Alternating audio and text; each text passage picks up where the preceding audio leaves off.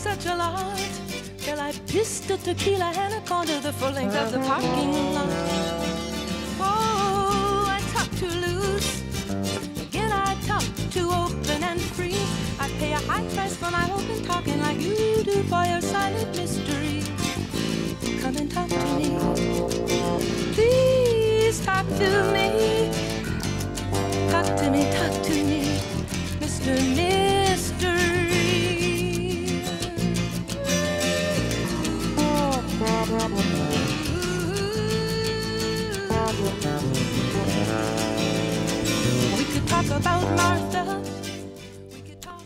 Probably one of my two favorite Joni Mitchell songs, and but it's also the song we should open this show with today because that's what we're gonna kind of do is get people to talk.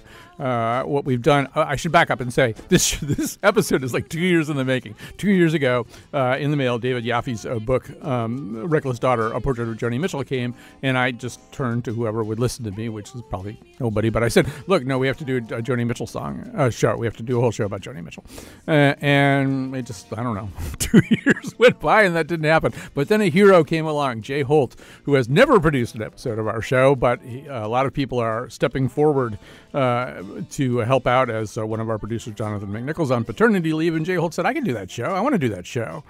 So now we're going to do that show. So what's going to happen as we go along here is you're going to hear some people, some of them people you know pretty well if you listen to the show a lot, but they've each picked a Joni Mitchell song. They're going to talk about uh, the Joni Mitchell song, uh, and uh, all the way through, David Yaffe, the aforementioned David Yaffe, and I uh, are going to talk about it. David Yaffe, assistant professor uh, of humanities at Syracuse University, uh, and the author most recently of Reckless Daughter, a portrait of Joni Mitchell. he's with us now. This is actually a song that is important important. I mean, I guess you could sort of say all Joni Mitchell songs are essentially um, uh, important to you, but it's it's actually one, actually one that you've focused on a bit too, right? Mm-hmm. Yes, of course. And and um, there's so many things going on there. I mean, um, musically, one of the part of the joke is that Jaco Pastorius' bass is really talking all the way through the yes. song. Yes, I mean, and that she wanted something contrapuntal, and she'd been looking for it from bass players ever since she started recording, and she was always frustrated. And uh, when she first heard Jaco, she thought that she dreamed him up. She couldn't believe it. Um, she was on a road trip um, in 1976, and that trip would be the place where she wrote most of the songs for Hejira and um, she stopped by Robben Ford's place in um, in Colorado in Boulder, and uh, Robben Ford had been he he'd, he'd played on the Miles of Aisles tour mm-hmm. when he was quite young, and then he also played on Hissing of Summer Lawns, and then he played on the Hissing of Summer Lawns tour that got cut short after a couple of months, and so this was about a month after that happened, and she said, "Hey, I'm coming to Boulder."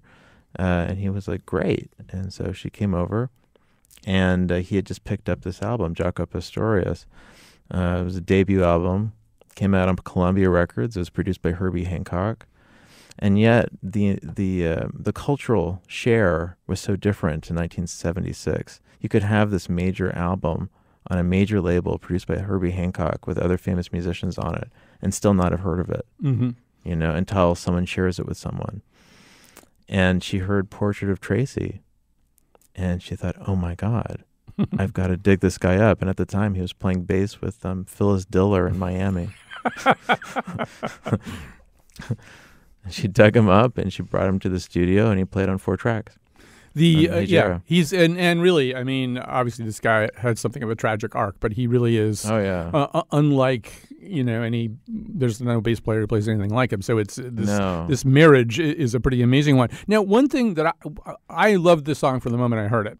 Um, yeah. Me and, I have, and I have this feeling that I didn't hear it. Uh, is it possible that there was a version of Miles of Aisles that had this as a bonus tracker? I feel like I heard a live version of it before I ever heard. You might have heard it on a bootleg. Okay. Because there were bootleg recordings from that Hissing of Summer Lawns tour, and okay. that that song was played on that tour. Well, and yeah, heard, and I, wherever I heard it, it blew my mind. Yeah. But and I've sort of gone through life just really loving it and thinking it's just a, a great, great song about a woman who can't get this mysterious, enigmatic annoying guy Uh-huh. to talk. Now, uh, I didn't know it was about Bob Dylan, so tell us well, about that. she, Yeah. she she she told me that and then took it back, okay, which is in the spirit of the song Right. actually. yeah. So she said that she told me that to test me. Mm-hmm.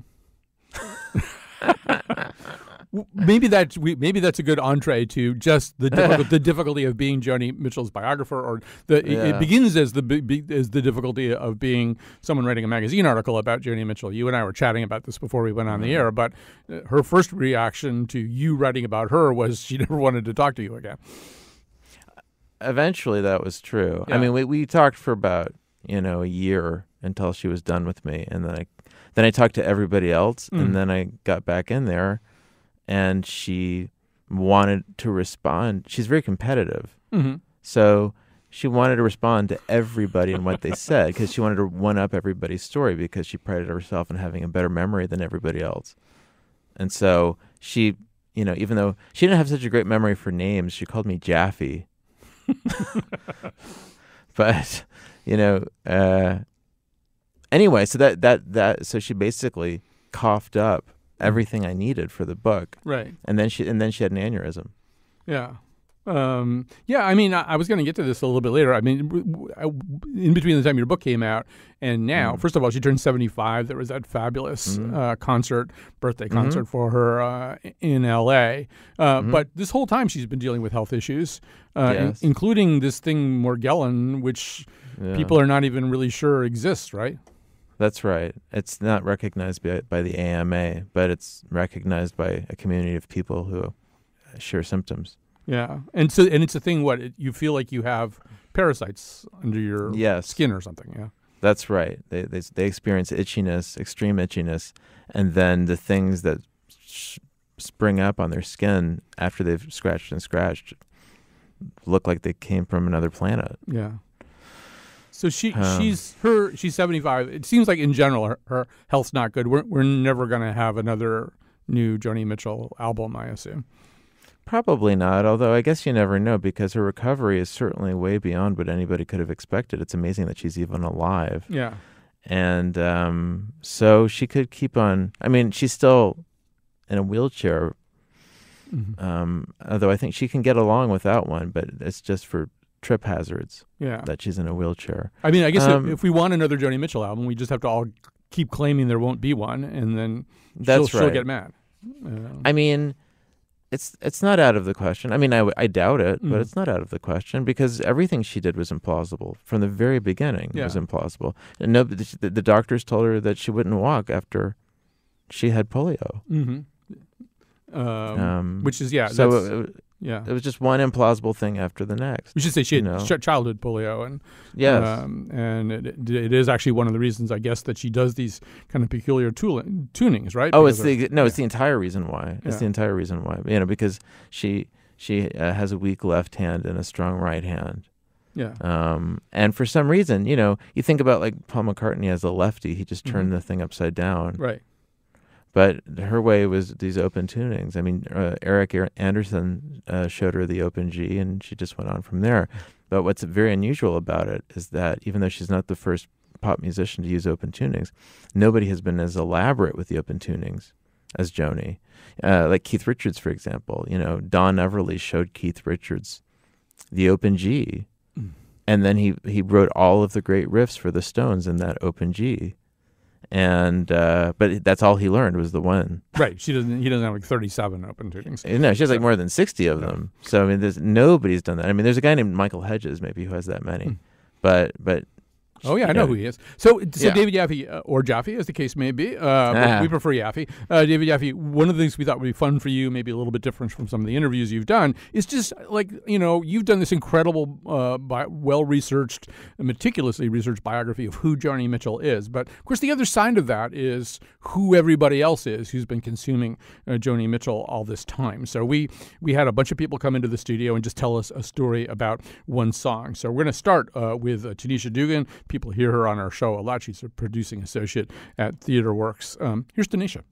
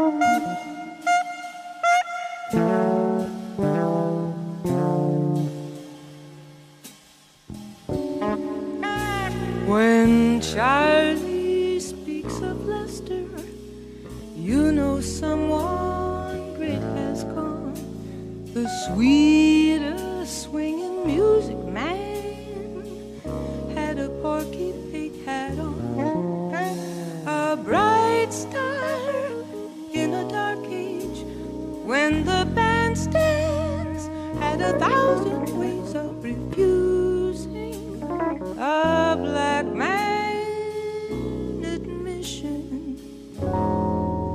Black musician in those days. So this is Goodbye a Pork Pie Hat from the album Mingus, which was released in 1979. Uh, uh, Mitchell at this point gotten moving pretty quickly, and she starting to make some new decisions about what she wanted to do. Why did you pick this song? So this song, uh, for me, I think is came to me at a time where I was really kind of deciding or understanding the kind of artist that I was going to be. Uh, I heard it when I was a student at the Academy, the Greater Hartford Academy of the Arts. I was in the jazz band at that point, uh, and I was one of the soloists. Uh, and Diane Mauer. What, what were you playing? I was a singer. We're singing. We're singing. Yeah, yeah, yeah. Oh, so Diane Mauer was Yeah, coaching. yeah. Okay. uh, and um, Diane Mauer selected this song as a song for me to sing. Um, and I didn't really know the song, um, but of course I knew Mingus and I knew Lester Young, uh, and I had a lot of. Uh, relationship with Herbie Hancock and Wayne Shorter because my dad listened to those records Yeah. all the time. And they're both playing right here. Correct. Um, and so when Diane picked it and said, I want you to solo on it, I was like, okay, what is this song? Um, so I listened to the original Mingus piece, which is an ode to Lester Young, and loved it. Um, and then heard her sing it afterwards. And the lyrics, um, exactly, Hmm. yeah. Were magical and beautiful. Um, and it, it created for me this um, conflict Hmm. because I wasn't a singing major. You know, I didn't really intend to sing, but I sang this song. Um, and Berklee College of Music um, started knocking um, on my door. And I thought, oh, maybe I'm meant to go a different path. Mm. And so this song for me is is about um, discovery, Right. about understanding. It's about both you and Joni Mitchell stretching. Exactly. I mean, she's going in a place. Exactly. No, people were uncomfortable with this album. Yeah. uh, It's totally fan- free jazz. Yeah, her fan base was she was making it with Mingus. Mingus was a dying man at the time. He actually died before the total completion uh, of the album. Uh, but she didn't cut any corners. You can tell. There's the decision that she's made to immerse herself. She worked with a lot of musicians who aren't even on the album before she got going on the album. So yeah, you're saying this is about challenging, getting out of your own comfort zone too. Yeah, and she doesn't sound anything like herself. Yeah. Um, the or the Joni Mitchell that we've come to know and love, right? Like she's not the pop singer um, that we all call on when you hear this album Mm-hmm. and when you hear this song. And so, the fact that she really sounds like a vocalist to me. Um, and that's not to diminish the work that she's done that is so popular, but that you really get to see the reaches of what she can do with her voice Yeah. and how she can story tell within it is impressive and exciting because like you said it hadn't we hadn't seen it Right. before then. Well, Shorter is trying to make reeds sound like the human voice, and she's trying to make her voice sound like reeds too at times. Uh, and I mean, she'd done some Lambert, Lambert Hendricks Mm-hmm. and Ross stuff before getting to this, but this is so much a different iteration. Mm-hmm, So, uh, so that's great. I mean, it's just you know, it's a nice your story and her story. there. I, th- I mean that's the point of music, right? That's the point of how we interface with art, that we find ourselves inside of it um, and learn something more through it. Uh, so I'm grateful to her and all the artists, really, Mingus and Lester Young, that sort of collided to make this piece of work happen. All right, we're gonna leave it right there. That's the perfect place to end that. Let's play it out a little bit. And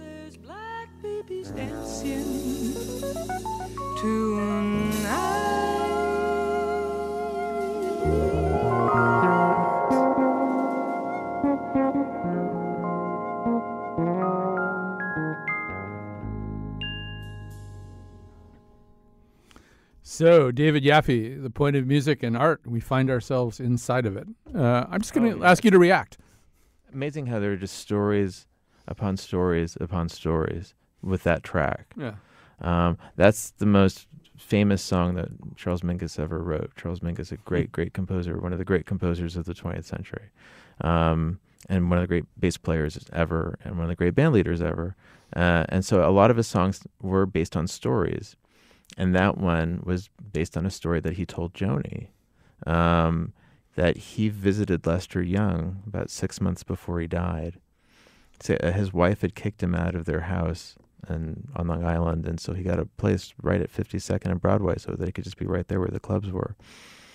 Um, this was, you know, late 50s, and um, and so they're they're just staring out the window, and uh, um, Stan Getz pulls in on this Cadillac, and uh, Lester Young says, "Oh, he he bought that uh, Cadillac on the way I play.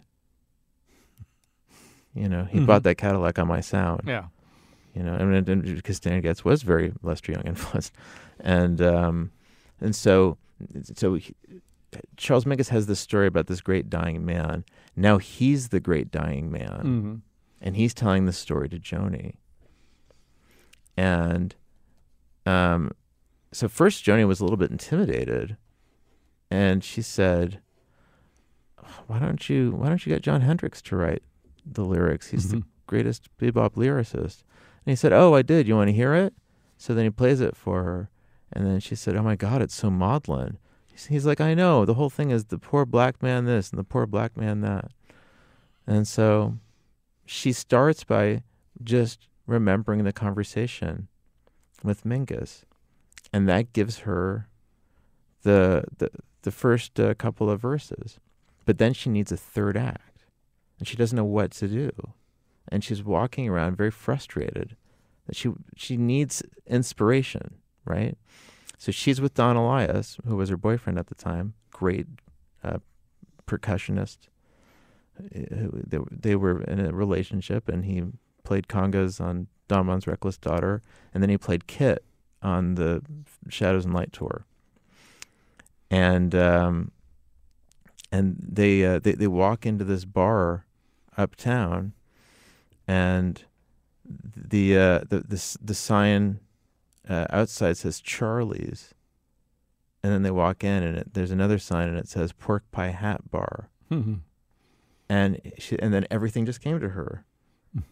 You know, I, I, I, mean, what she wrote down in that final verse. We came up from the subway from the music Midnight Maze with Charlie's bass and Lester's saxophone, taxi horns and brakes, and Charlie's down in Mexico with the healers, and the sidewalk leads him to uh, two dancers. We're standing outside this black bar. You know, she's she's telling the story. Yeah. That, that, that third verse is just like laying it out. Do you get the picture? Um, and it was just things came to Joni like that all the time, where an experience would just reach out to her and give her what she needed. We're talking to And, David uh, Yaffe. Uh, his uh, his book is uh, "Reckless Daughter: A Portrait of Joni Mitchell." Uh, and uh, so uh, I want to do one more clip here before we go to our first break. And I did want to get like one mischief maker. I wanted to get somebody who, uh, I mean, most of the people. I, by the way, like when people walked in here, I when I first approached Tanisha Dugan, I didn't know whether she had a Joni Mitchell cut that she liked at all. I mean, it never occurred to me that she had this story of singing this particular song while she's trying to decide what to do with her life. And that's one of the surprises. You uh, like I I didn't pick anybody based on how much they know about Joni Mitchell or what I thought they knew about Joni Mitchell. So there's just full of surprises. So I did ask uh, Brendan Sullivan. I guess I probably could have guessed that Brendan wasn't going to necessarily salute the Joni Mitchell flag. Uh, has, he's toured the world as a DJ. He's a producer and author of Rivington Was Ours, Lady Gaga, The Lower East Side, and The Prime uh, of Our Lives. So let's hear what. If you really, really love Joni Mitchell, you might want to turn off the radio for five minutes, because. Uh, but but you won't. It's not that. It's not going to be that assaultive. All right, here we go. So Joni Mitchell isn't really exactly generationally right for you. You're more in a position Yes. where you can look at what Joni Mitchell is saying to other people. Yes, Joni Mitchell is in that category that we call mom jams. you know, these are there's nothing wrong with any of these songs. They're not particularly cool, I would say that. They're they're super enjoyable though. What I imagine with this with this cut specifically, I am on a lonely road and I am traveling, traveling, traveling, traveling, looking for something. What can it be? Oh, I hate you some, I hate you some, I love you some. Oh, I love you when I forget about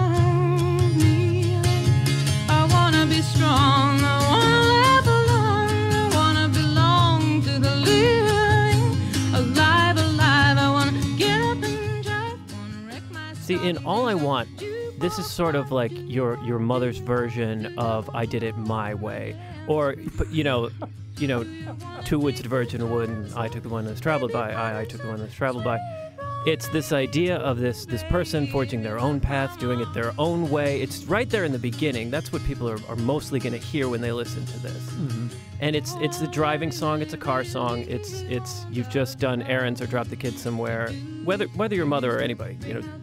But this is that that is the the that is the hoof in this song. That's what's driving this song forward. Is you know, you're doing it your own way. I was trying to figure out where this song came into my life, and I realized I had DJ'd a wedding in the Hamptons where this was the mother-son dance. Ah, So So- it is a cute one. Joni Mitchell is slightly older than some of her baby boomer audience would be. She is the older sister of boomers. You know, she's born in 1943, so she's just on the slight the curve of it. She sort of missed. Um, you know, we'll, maybe we'll get to Woodstock in a second, Yeah. but she was not a anti-Vietnam. She was she was sort of in the Bob Hope camp of supporting the troops. She she had said at the time of Woodstock that she she stayed away from it, but that she had uncles who died in World War II. So that was that, that was what her generation was focused on when she thought of, of war and the troops and things like that. So all of her songs haven't aged they haven't stayed cool throughout the ages, I would say. I do really what I do like about Joni Mitchell there is a cool punk rock element to hearing a song and your immediate reaction isn't wow it's amazing that people can do this with music you sort of have a moment where you think you know i could do that you know you could pick up a guitar and play a Joni Mitchell song. And, and not only that, this is an era of, you know, we're on our way into having guitar gods and electric mm-hmm. guitars and strumming. But if, if you're in college and, you know, someone has a guitar and you go, oh, I'd love to, you know, what wouldn't it be fun to play guitar? And you're going to press your fingers down on steel strings. Your fingers are going to hurt the first day. You're going to go out of tune and you don't know how to tune it. There's all these things that are missing in a Joni Mitchell song. These are all, most of these are played or at least composed on nylon strings, which are a little easier on the hands. The, the strings are a little farther apart on the instrument. These are things and that with no recognizable tuning too. I Yes, yeah. yes, by far. Uh, I mean that w- that's the problem with trying to play a Joni Mitchell song is she wrote it so that she could play it and she could sing it. I think that they're pretty they're they're not as transferable as say a Joan Baez song would be. Uh, and so uh, I think another thing about Blue, as you're talking about this, and particularly talking about eh, perhaps your mother's generation. um, so Blue is the album on which this particular song occurs, and, and it is, you know, if you are driving around doing some errands and picking up kids at soccer and stuff like that, and that's where you've gotten to. I would imagine that to con- that Blue and a song like this one would connect you pretty easily back to the person that you were when you were listening to that album. Oh, that Yeah. is so true. This is an album that stays right where you left it. yeah, I would say few couples have, you know, this is our song. yeah. But plenty of people in their personal time would go, "Oh yeah, I remember when I got this record, and I Right. remember, you know, being head over heels of this with this guy or girl in college." Mhm. And you can go right back to that place without it being in car commercials and on the radio. Right.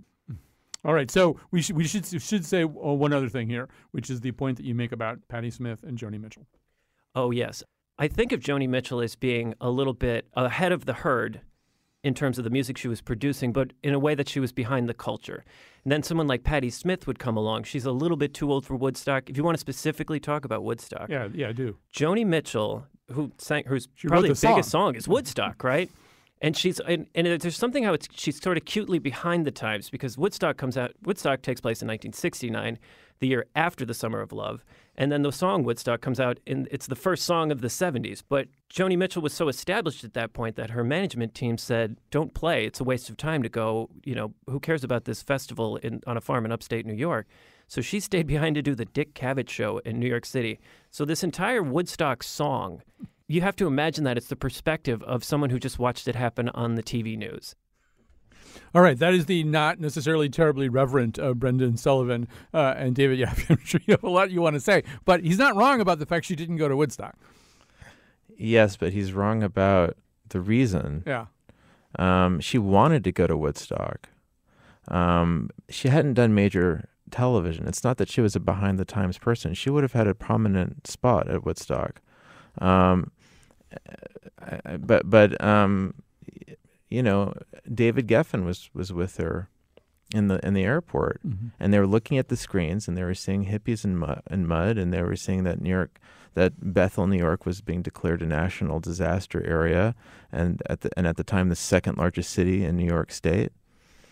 And he said, "Look, it's hippies in the mud. Um, we can fly you in." Because Crosby, Stills, Nash and Young were flying in on a on a helicopter with Elliot Roberts, who was also Joni's manager, mm-hmm.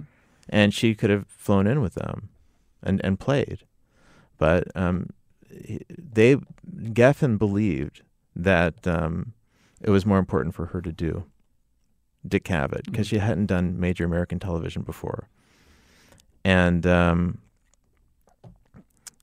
and and, and uh, her first two albums didn't sell very much, mm-hmm. so she really needed the exposure, and um, so that and so she goes back to the Sherry Netherland with David Geffen and then watches it on TV like everyone else, and she's sad because she thinks, "Oh God, this is the greatest event of my generation, and I've missed it."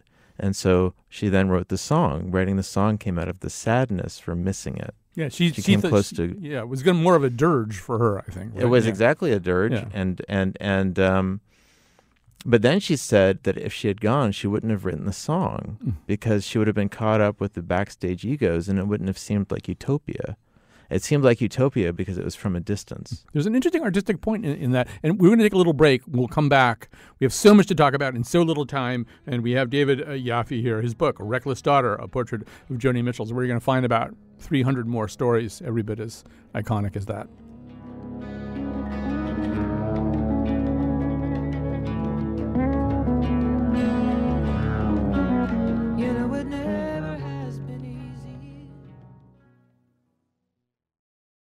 So to reestablish, yeah, in 2017, uh, this wonderful book by David Yaffe came out, "Reckless Daughter: A Portrait of Joni Mitchell," and I said, "Let's do a Joni Mitchell show." And it just has taken a while to figure out exactly how to do it and who was going to produce it. And it turned out Jay Holt uh, stepped forward. He said, "I'm going to do this," and and we we had this plan uh, to, to, we'd have David on, but we'd also have people on just talking uh, about songs so that David could listen to them and kind of react and maybe tell more of what he knows about any individual song. And it's always was very surprising especially the songs people picked. I'm going to do another one. Just play this for uh, David. This is uh, Lee Newton. Uh, she's director of uh, program promotion for Connecticut Public, uh, where we all work. Uh, she's a freelance TV host and voiceover talent, and that's all I'm going to say. Before Lee says a word, besides just chuckling in the background, we're going to play the beginning of this song and then get Lee talking about it.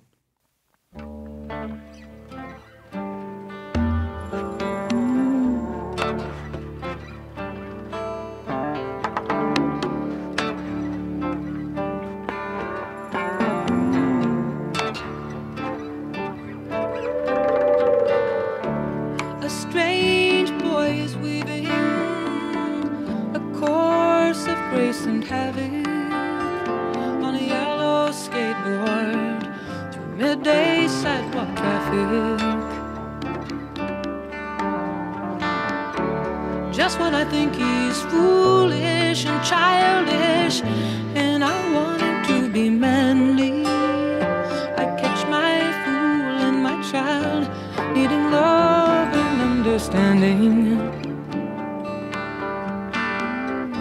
What a strange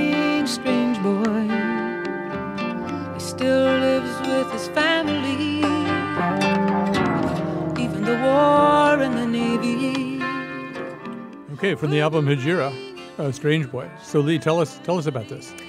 Well, you know, I mean, there are lots of songs that I could choose as my all-time favorite Joni song, but this is the one that I keep trying to play for people because I love it. I mean, it there's just something. Um, I mean, it has this very sensual, languid quality to it, and it's just it's a, it's an amazing song um, because she has such great visual imagery in the lyrics. I mean, she's famous for that anyway, but she's sort of fallen for this man child and she's frustrated with him because you know on one hand she kind of wants him to be her intellectual and artistic equal and he's clearly not that but she's physically drawn to him uh, in so many ways and it's just it's a beautiful song about that kind of dichotomy but it has some incredible lyrics where she she draws together this image of them in a bed and breakfast in New England, and I love those lyrics so much. Well, she's so we know a little bit about this too. So this is from the album Hejira. Right. This is about 1976, and and she actually is traveling around sometimes in disguise uh, with a wig and sunglasses, and she's also sometimes traveling with men. Her relationship with the drummer John Guerin is falling apart. She has an affair with Sam Shepard at one point. That's probably the basis of the song Coyote. And this is a guy. This is a guy who we are told anyway was a flight attendant who was in his 30s and did live with his parents, as is said in the lyric. Right, and um, somehow as she met him and she was having an affair with this young guy, and I, I don't know much more about him than that as well, but I know that they were in Maine at one point, and I think that is where she's conjuring up these images of them in what sounds like a really stodgy kind of bed and breakfast. And there are these lyrics, if you don't mind me reading Yeah, them. go ahead. well, she talks about, you know, a thousand glass eyes were staring in a cellar full of antique dolls. And uh, I found an old piano, and sweet chords rose up in wax New England halls. So you get the idea of this, but then it continues with while the boarders were snoring under crisp white sheets of curfew, we were newly lovers then. We were fire in the stiff blue haired house rules. And I just, I love that because it's sort of the perfect embodiment of fresh new love, you know? and, and there's nothing better when there's constraints to that, you know, when there's, you're in the middle of, of something and it's kind of a secret and it's hidden. And I, I just, I love it. A lot of the songs don't have much of a structure, a traditional song structure. There isn't that verse, chorus, verse, chorus. It's all a lot of verses. Um, but yeah, I mean, Jaco Pastorius does not play on this song, although he does play on so many of those songs. And but it's it's all just about the mood, the atmosphere, um, this sort of searching, lonely quality to the whole record. And, and I think this song is a good example of that. Lee Newton, beautifully put. We'll end it there. A thousand glass eyes were staring in a cellar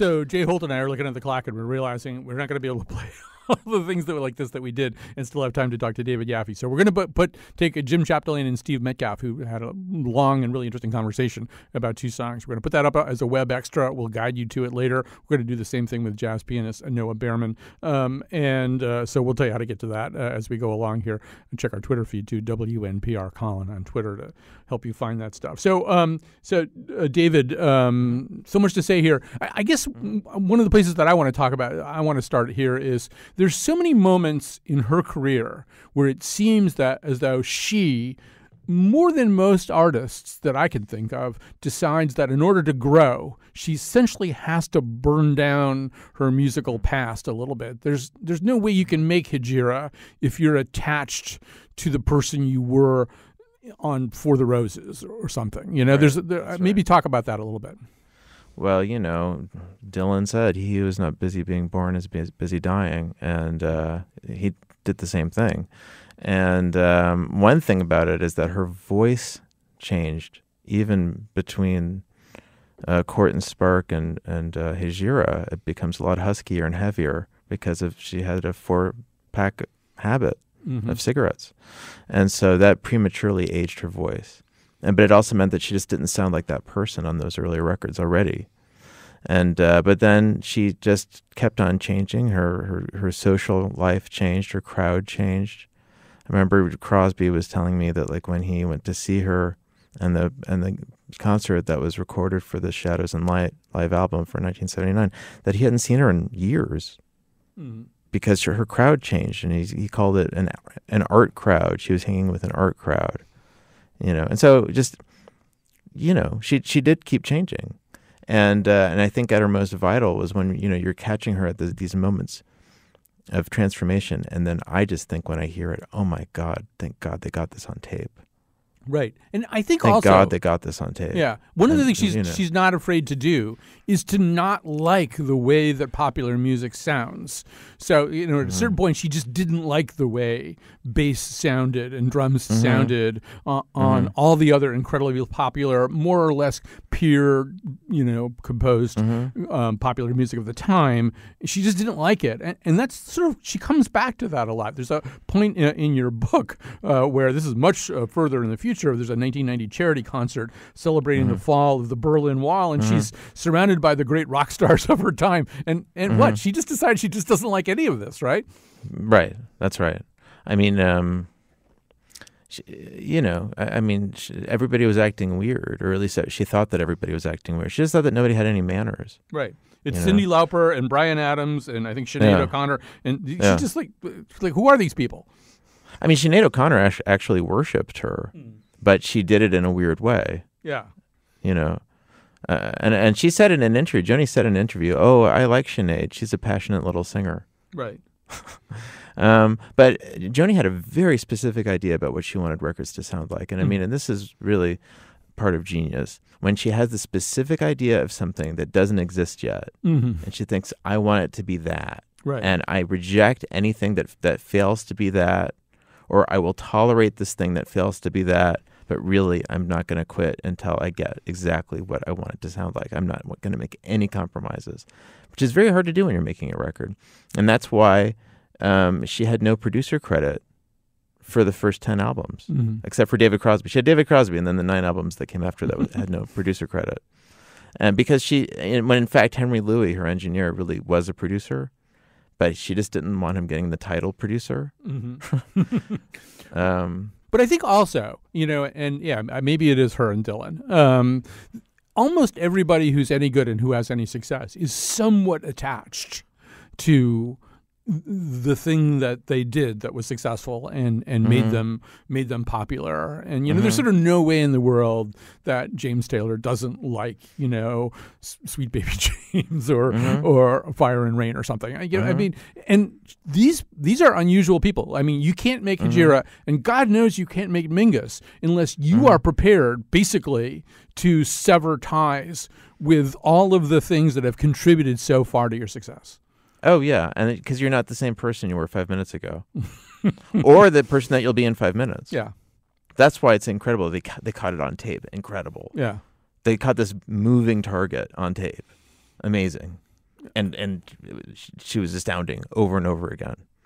All right, we're gonna we've got time for one more segment here, and what we're gonna do, we're gonna play a song out of this segment, and then when David and I come back, David's gonna talk about it. So I want you to listen a little bit more carefully than you usually do to bumper music.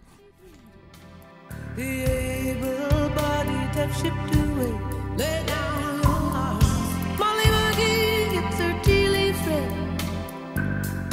You'll be married in a month, they say. Lay down your arms.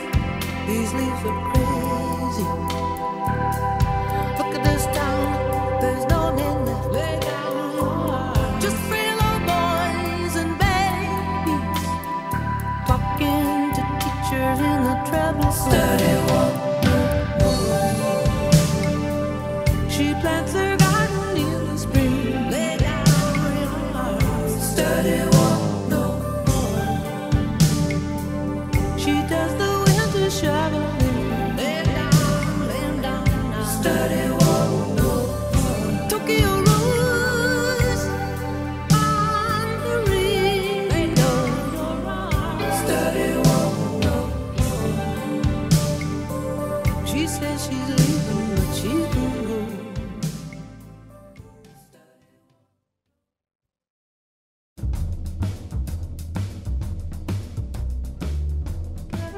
Today's show was produced by Jay Holt and me, Chion Wolf, with big help from Betsy Kaplan.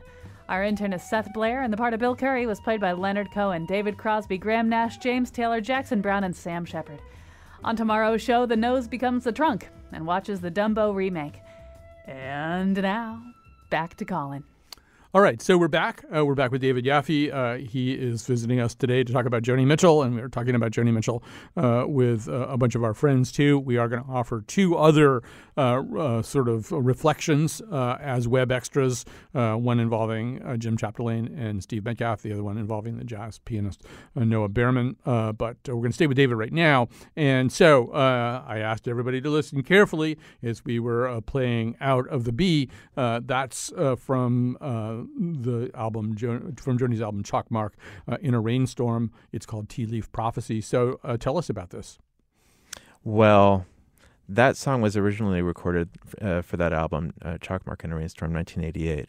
But uh, Joni re-recorded it, and it, and it, turned out that it was the last thing she ever recorded. Mm-hmm. Um, her ex-husband Larry Klein was producing this album for Herbie Hancock called "River: The Joni Letters," which was an album of Joni Mitchell songs um, recorded by Herbie and Joni and her Herbie were close, and um, and so th- she uh, it was it was it was Klein's idea to choose this song because Joni's mother had just died, and the song was about her mother. Mm. And so on the 1988 version, she says Molly McGee, but when she re-records it with Herbie Hancock in 2007, she says Myrtle McKee, which is her mother's maiden name. Mm. And um, it's just incredible that this whole song about destiny and the unlikeliness of all of these magical things happening and these implausible things happening would be the last thing that she would ever record. And um, and so uh, and, and and it's also very funny in some places. It's a dark song, but there's one line in it that always makes me laugh, which is that she finds, you know, she goes to get her tea leaves read, and then the tea leaves say you'll be married in a month, and then she says these leaves are crazy. I mean, I think that's a great line. She's she is a very funny person, and and yeah. you know, I, I think maybe that's not always entirely clear. Although, if we'd played the opening song and talked to me a little bit deeper, I mean, at one point oh, yeah. she actually imitates a chicken. You know, she does chicken uh, squawking. Yeah, and right. it's a pretty good chicken too. She uh, does a pretty good chicken. But it's incredible because you've got like this drudgery of domestic life. You know, mm-hmm. she plants her garden in the spring. She does the winter shoveling. Tokyo Rose on the radio. She says she says she's leaving, but she don't go. and and so Joni was the one that was able to break out of all that, you know, and break out of Saskatoon, right. and do something that nobody could have dreamed of, and uh, and be something that nobody could have dreamed of, including Joni herself. Yeah, I mean, I think that and, that's sort of it goes back to what we were saying about all these different phases uh, of her music, which involve burning down the past or just mm-hmm. completely mm-hmm. violating whatever set of uh, of boundaries exist uh, mm. that, that, that that circumscribe her and define her. And she kind of did that with her life too. I mean, she, a lot of other people, you know, with the kind of experience she had with polio, with having uh, being brought up in a certain kind of family, without really having mm. necessarily exposure to all kinds of culture. I mean, every single mm-hmm. time she just said, "Screw that! That you are not going to hold me in this pen." Yes, and um, and so she you know, this other thing, sleep little darling, this is your happy home. Hiroshima cannot be pardoned. Don't have kids when you get grown, because this world is shattered. The the wise are mourning, the fools are joking. Oh, what does it matter? The wash needs ironing and the fire needs stoking. You know, um, don't get, have kids when you get grown was something that Myrtle would say to Joni mm. a lot. You know, as meaning that she was a pain in the ass. Right right? But then she adds, "This world is shattered," and that's not Joni's mother. That's Joni. This world is shattered is Joni. Um, but then you get back to the chores. You get yes. back to the drudgery of domestic life. And and by the way, Joni saw that there was an honor to it, even though she didn't choose. You know, she she got to be beyond it. But she, you know, I mean, she has a song on Hejira called "Song for Sharon." That's all. That's about wondering what would have happened if she'd gone the path of a normal person. Mm-hmm. Um, you know, she, yeah. I, I, just, you know, before we run out of time, too, one thing I, I just want to talk quickly about, because I'm also very interested in how people kind of use music and interact with music and stuff like that. I feel like there's a lot of people who stopped somewhere, you know? Mm. I mean, there are a lot of people who stopped Uh, maybe they stopped after Hejira. Maybe I, I, I, it's hard to Mm-hmm. tell. But I mean, uh, it might be just worth it for you to just say a word or two about some of the joys that you can discover Mm-hmm. in the later part of the Joni canon. Absolutely. Um, there is a kind of a snobbery about like a rock critic's eye view of Joni, and I think that I was guilty of that myself when I was younger, before I wrote this book, Mhm. Um, where I thought, "Wow, the first ten albums are incredible," and then after that, it's so disappointing. And I don't feel that way anymore, even though it, there's nothing like Jaco. I Mhm. mean, you know, there's certain things that you just can't recreate, but the things that she did do as an older writer were just astonishing, and they were astonishing in a different way. And then when you hear her voice become more ravaged, she uses that to such great dramatic effect. And sometimes you're feeling ravaged and you want succor from something that will s- cer- give that to you. Um, you don't necessarily want to hear the ingenue. Right. You know, you, you, you want to hear Billie Holiday on Lady in Satin. You know, that does something for you. Or, you know, Edith Piaf or on and on, right? Mm-hmm. And, um, or, or later Dylan for that matter, does that for you. I, I And, also uh, think like like Night Ride Home Yes. is an amazing album that is. competes very easily w- with the early canon. I mean, just the songwriting all the way through it is incredible, and I- pe- I people don't that, know like, that album. If we if we if we call late Joni like from Wild Things Run Fast onward, Mm-hmm. you know, I think probably Night Ride Home has the most great songs on it. Yeah. because you've got you've, you've got Come in from the Cold and you've got Two Gray Rooms, and um, you've got Nothing Can Be Done. Mm-hmm. I mean, you know, right now, like I'm I'm the age that Joni was when she when she cut that, and so when she she says, um, I I am not old, I'm told, but I am not young, and nothing can be done. My heart is like a smoking gun, and nothing can be done. Mhm. That that's that's your mid forties right there, and so. It, it, so, uh, by the way, whoever that fellow was who talked about mom Mm-hmm. rock. I mean, well, some people are moms and they still have souls, and they they still love music. Sorry. Um, Also on that album, mom- I mean, if you just want to have some Yeah. fun, I mean, Ray's dad's Cadillac is, you know, yeah, sure. I mean, th- things like that are, and I mean, that's a that's a quality that you don't that you're not used to from a Joni Mitchell song, and it's a great memory song, you know. And then the next album, Turbulent Indigo. Uh, you get one of my very favorite Joni Mitchell songs, the title track Mhm. about Van Gogh. It's an incredible song. Um, you know, Sex Kills is is amazing, and then on the next album, Tame the Tiger, you get Man from Mars, which is amazing. So I mean, you've, you've got these great songs. Harlem and Havana is a pretty cool song too. Uh, Actually, it's very cool. Yeah. Yeah, And- and great, great Wayne Shorter. Wayne Shorter, by the way, is on ten Joni Mitchell albums. that's amazing Start- too. Yeah. starting and starting and starting with Don Juan's Reckless Daughter. He's on ten albums. Well, David Yaffe, Um, first of all, uh, we want everybody to see, really, seriously, at the end of the show, seek those things out. Get on your Spotify or whatever it is that you do. And, but don't use it the way you usually use Spotify. you really have to kind of immerse yourself and dig a little deeper. But a, a lot of these later albums are really worth it. Uh, we've been talking to David Yaffe, assistant professor of humanities at Syracuse University, author, most recently, Reckless Daughter, a portrait of Joni Mitchell. We just thought we would sort of end. There's some really, really, really, really great covers uh, of Joni Mitchell, but I'm not sure there's anything quite as amazing as this, and I don't even have to tell you who this is. So sweet, I could drink a case of you, Ooh, darling. Oh, yeah, and I still be on my feet, and I still be on my, still be on my feet, I'd still.